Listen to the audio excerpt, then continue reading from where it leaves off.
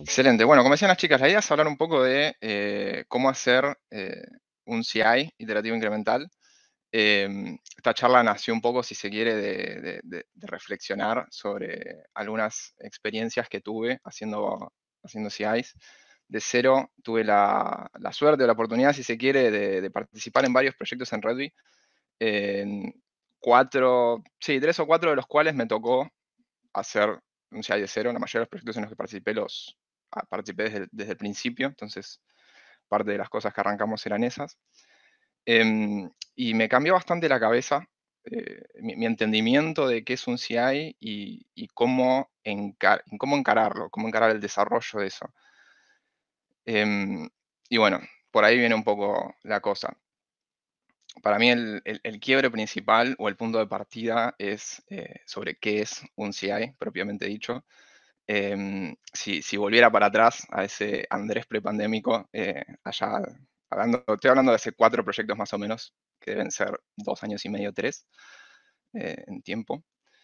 Em, ese, e, ese Andrés de hace dos años, lo más probable es que hubiera dicho CI o Jenkins, em, si hay es un pipeline o si hay es una automatización. De hecho, lo más probable es que hubiera hablado de CI/CD como una sola palabra, em, que son dos cosas distintas. Estamos hablando CI como integración continua, CD como delivery continuo. Em, se pueden hacer por separado.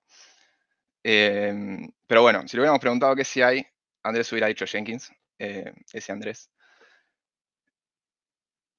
Y hoy en día, la realidad es que mirando para atrás, me doy cuenta que no está del todo mal, pero le falta una gran pata.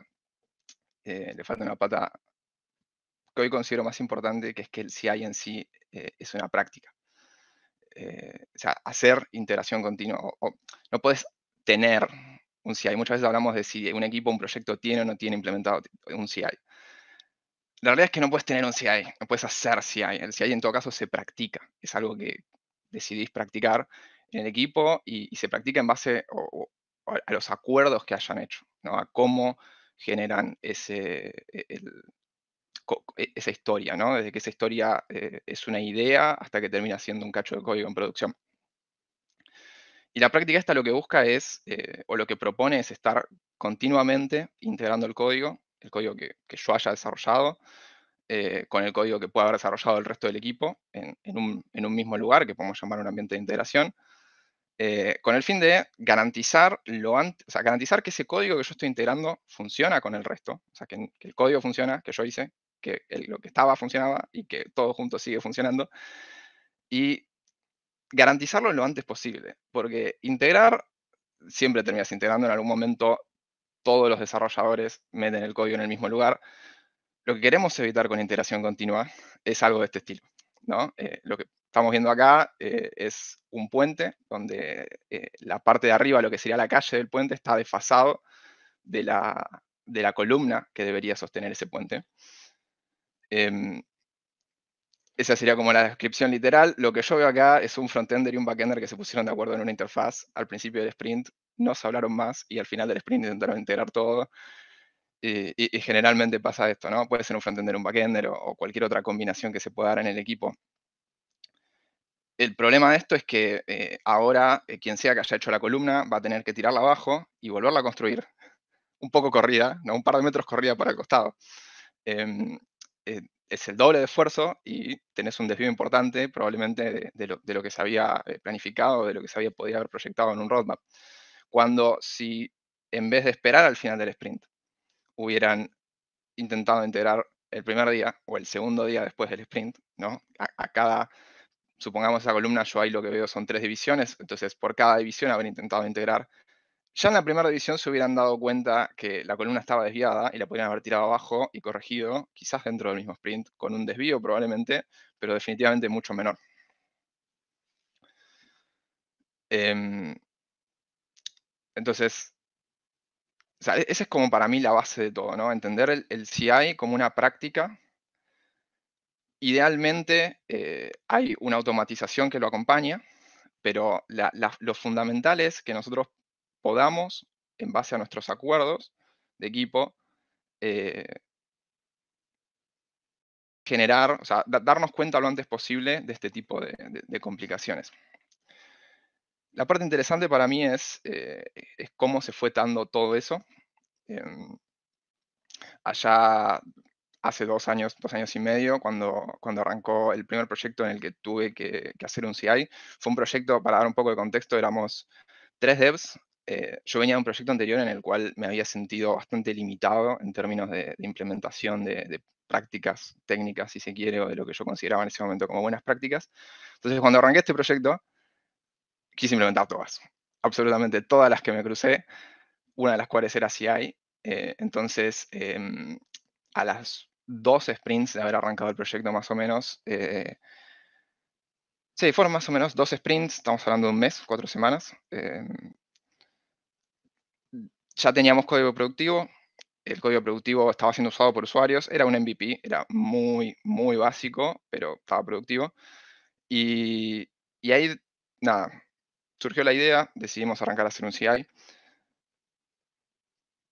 quizás cometimos el error de no poner un scope a ese CI. Entonces, eh, lo que terminó pasando fue que me se ve un poco, eh, me tomé dos sprints, casi dos sprints, no estamos hablando de otro mes eh, entero, para levantar un hermoso Jenkins en, un Kubernetes en ese momento, con todos los chiches, con todo lo que se podía ocurrir, todos los checkbox que podría tener un, un CI, todos los cumplía. Tenía estaba integrado con los PR, este, corría los unitarios, corría la integración, generaba un Swagger, reportes, notificaciones por mail, todo lo que pueda tener eh, un CI. Eh, en ese momento lo tenía, estábamos re contentos. Y nos duró bastante, sí, digamos que esa, alegría, por así decirlo, eh, nos duró un mes más, que fue cuando abruptamente terminó el proyecto. Resumiendo, tenía un proyecto de que duró tres meses, seis sprints, de los cuales cuatro sprints, sí, dos sprints estamos en producción. Yo dediqué un mes a hacer un CI y dos sprints después eh, el proyecto había terminado. Eh, terminado con bastante frustración, al menos de mi parte, yo me quedé con un gusto muy amargo en la boca. Y el tema del CI obviamente fue un tema que, terminó saliendo en la retro de ese, proyecto, donde nos, habíamos juntado post proyecto a, ver qué podíamos que habíamos hecho bien y que podíamos mejorar para el próximo. Em, el tema del CI se habló, fue algo en lo que se invirtió un montón de tiempo eh, y no, no se llegaron a ver frutos. Eh, nada, tomé en ese momento la, decisión muy madura de mi parte de decir que el CI entonces no funcionaba, que, que, no teníamos que hacer más automatizaciones de ese estilo o invertir ese tiempo porque en definitiva no íbamos a ver los frutos. Em, y durante los próximos dos o tres proyectos casi, eh, estuve, fue como ferviente defensor de la idea de no hacer un CI. De hecho, creo que durante, mientras estuve yo no hubieron CIs. O eso es lo que yo creía en ese momento. Eh, lo que terminó pasando ¿no? en, el, en el proyecto 2, el proyecto siguiente a este, a este infame Jenkins, fue que a los, o sea, por un lado, desde el, desde el día cero casi, e, habíamos arrancado dos devs. Desde el día cero casi eh, habíamos generado el acuerdo de que ningún branch podía vivir más de dos días sin integrarse a master. Em, por un lado. Por el otro lado, habíamos generado el acuerdo de que todo PR que se mergeara, la persona que había generado ese PR tenía que eh, buildear el código, deployarlo en un ambiente de integración y correr la regresión. Y solucionar cualquier problema que pudiera surgir si es que surgiera el problema. La realidad es que durante ese proyecto en ningún momento tuvimos el problema del puente. Tuvimos otros problemas. Estábamos haciendo todo eso a mano. Era muy común que metamos un, typo o un dedazo mal y, rompiéramos algo. Pero no era común que llegáramos al sprint y de repente tuviéramos dos cachos de código que no, no había manera de que funcionaran juntos yo en ese momento no lo estaba viendo, pero yo estaba practicando integración continua. Em, un paso siguiente, o, algo más, o sea, no, solo eso, sino que a los más o menos tres meses de, haber, de haber empezado este proyecto, eh, el proceso de integración lo que implicaba era que yo tenía que buildear un container, tenía que subirlo a un registry, tenía que cambiar el servicio en Kubernetes, taguear los repos, eh, correr la regresión eh, y, todo en orden, todo secuencial. No, no, había varios pasos que no se podían paralizar y notificar. Em, el proceso entero duraba como 40 minutos, una hora, y era una hora en la que yo tenía que estar, tipo, mirando la consola. O sea, para que dure una hora, yo tenía que estar mirando la consola, esperar a que termine un comando y ejecutar el siguiente. Y rezar que no me hubiera equivocado en nada de lo que había tirado, porque si a la media hora me daba cuenta que había pifiado a, no sé, el tag de la versión de Docker, tenía que volver a empezar del principio. Pero si yo tiraba un comando y me iba a hacer otra cosa, en el medio podía terminar el comando y yo me colgaba y de repente en vez de una hora eran dos. Eh, y, y seguía dando vuelta y no sabía si ese código estaba efectivamente andando.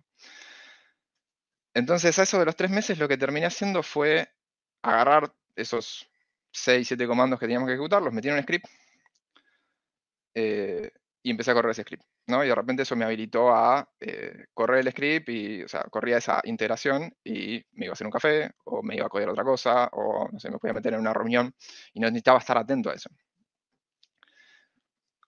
Seguía estando el problema de que cada tanto metía un dedazo, entonces em, empecé a meter validaciones che, la versión del tag tiene que tener este formato y la versión del tag no puede ser menor a una versión ya existente.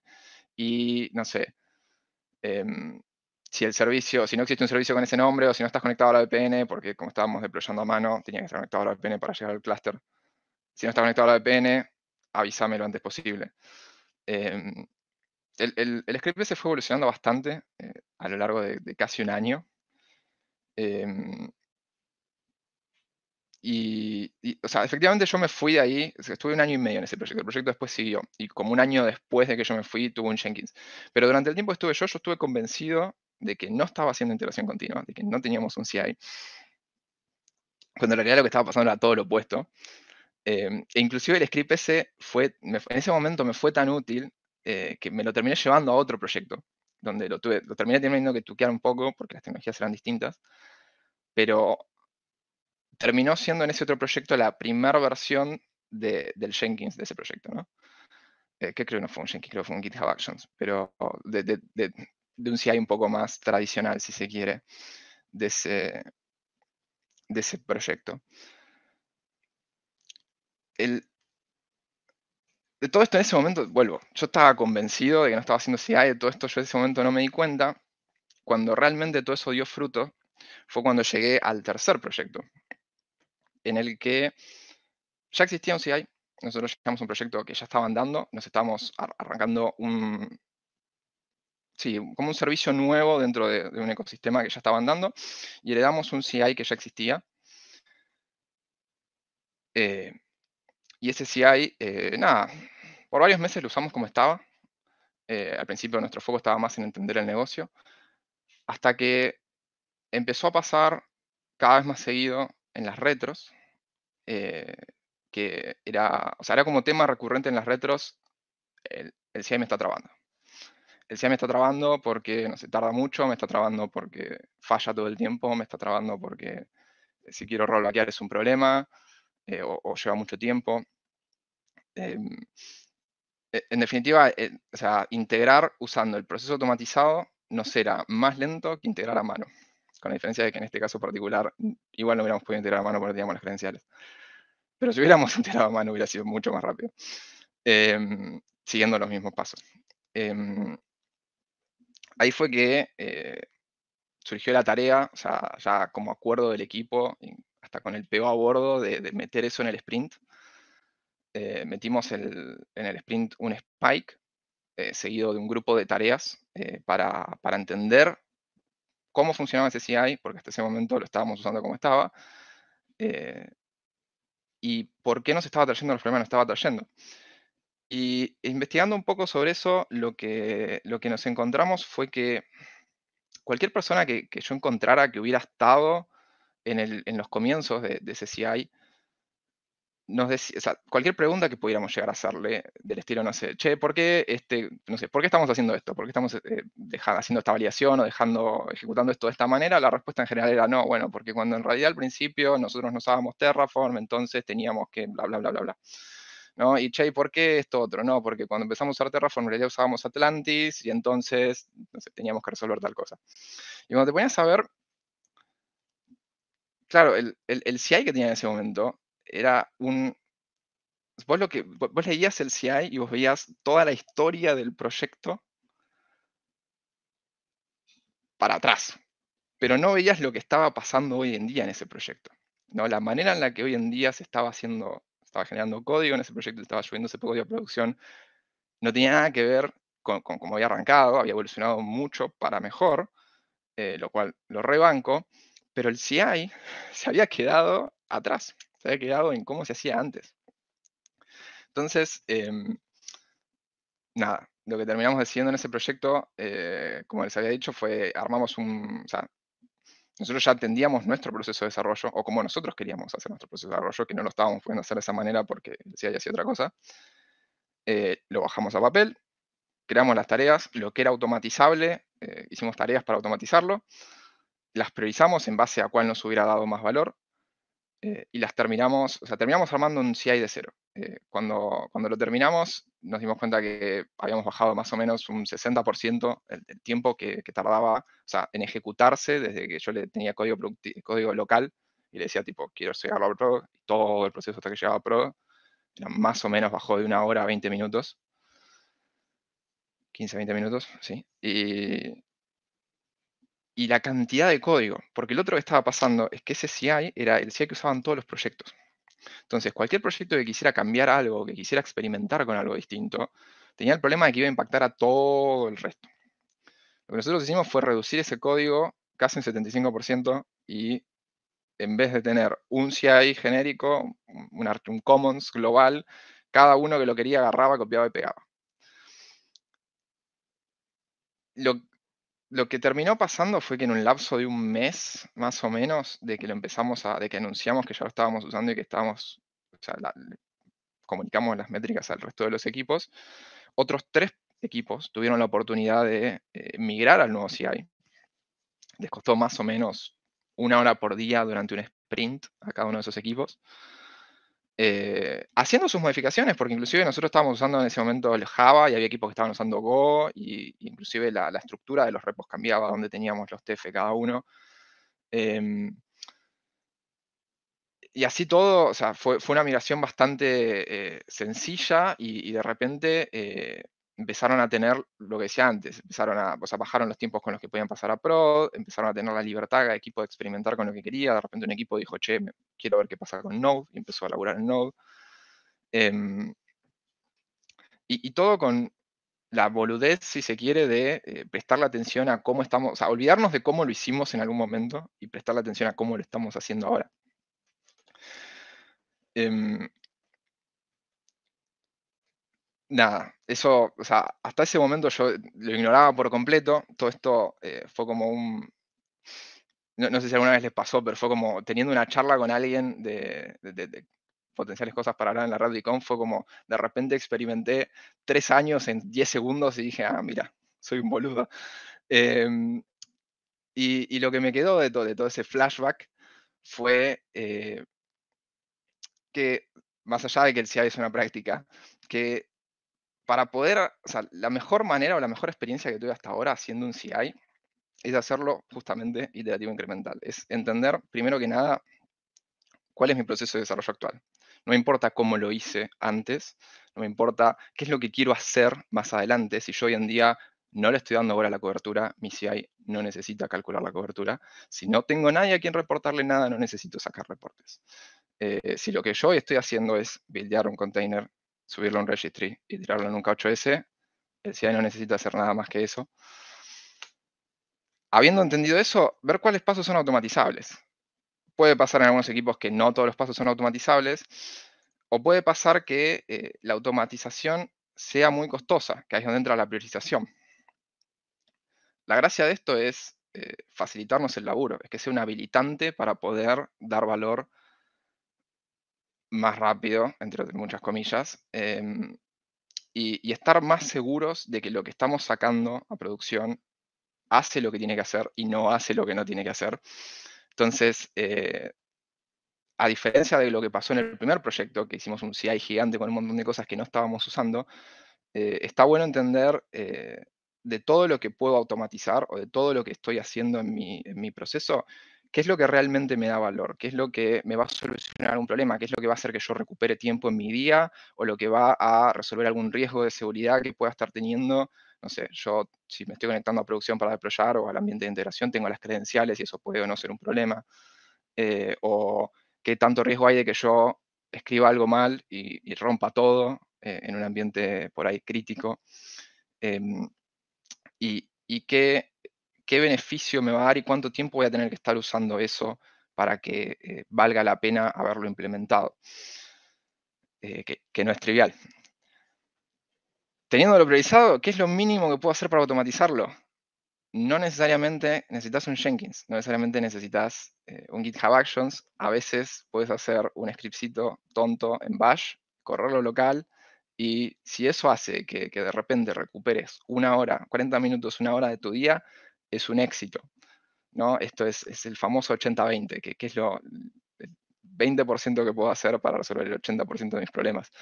Em, ojalá eh, o sea, ojalá. Si en algún momento necesitas un Jenkins, hacelo, pero no, em, no, es el objetivo, no es necesario, a, diferencia por ahí de, lo que yo creía hace mucho tiempo.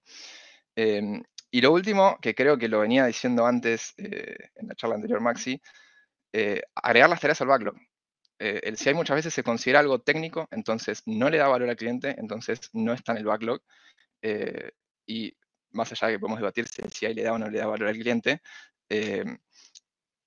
definitivamente es algo importante para el proyecto. Definitivamente eh, la, eficiencia o la velocidad con la que podemos dar valor es algo importante para el proyecto. La calidad de ese valor, o sea, de eso que, subimos a producción es algo importante para el proyecto y la, confianza que tenemos cuando lo subimos, que es lo que hace que podamos ser más eficientes. Eh, por lo cual, es parte del backlog y debería ser priorizado junto con el resto de las historias. Yo estoy como convencido de que si no está en el backlog no se va a hacer nunca. Em, Así que bueno, bastante más resumido eh, de lo que esperaba, eh, pero en principio este es como el, resumen de ese flashback y, de, esas experiencias que tuve eh, y, lo que usé en, el cuarto proyecto. ¿no? Dije que había cuatro en los que tuve que, hacer CIs y hasta ahora me vino dando buenos resultados los invito si, si, les sirve a que lo prueben. al menos más allá de si ya tienen un CI andando o no, si tienen un CI que tienen que hacer de cero, los invito a que lo prueben. Si tienen un CI andando eh, que, hoy en día están dando, lo que les los invito es a probar entender cuál es el proceso de desarrollo, si es, que no, si es que no lo tienen escrito hoy en día, tipo, tenerlo escrito. Cuando hablo de entender es, tipo, que haya en un lado un documento que diga, bueno, hacemos esto, esto, esto, esto, esto, esto, esto, y que que de punta a punta. Si hay un paso en el que decís, no, bueno, acá va homologación, ok, ¿qué es homologación? ¿Quién la hace la homologación? ¿Qué, involucra la homologación? Sí, sí, o sea, como empezar a, desarmar eso, que no haya cajas negras en todo el proceso. Y si entienden eso, ver qué de todo eso está hoy en día, e, e, es realmente automatizable, y qué de todo eso, eh, si lo automatizaran, podría resolverles problemas porque yo, ahí estoy convencido de que hay muchos casos en los que eh, nos quedamos, el, CI es algo que, evoluciona. ¿no? El, CI, lo que hablamos es una automatización de un proceso que nosotros definimos. Y ese proceso que nosotros definimos muta, como le pasó en este tercer proyecto, con las tecnologías, muta con eh, las prácticas del equipo, muta con la complejidad o con la evolución del mismo negocio.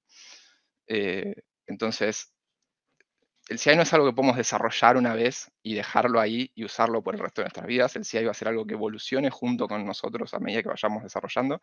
Y, está bueno eh, pegarle una pasada cada tanto, ¿no? Una review cada tanto en algún momento que tengo libre en el sprint y, mirar para atrás y mirar ese CI y decir, che, sigue representando lo que nosotros hacemos, sigue siendo un habilitador de poder subir código a producción con confianza o nos está trabando más de lo que, eh, de lo que nos habilita. Esa es como mi, reflexión, si se quiere, para hoy. Eh, para vos, ¿el CI es una herramienta de control? No debería hacerlo.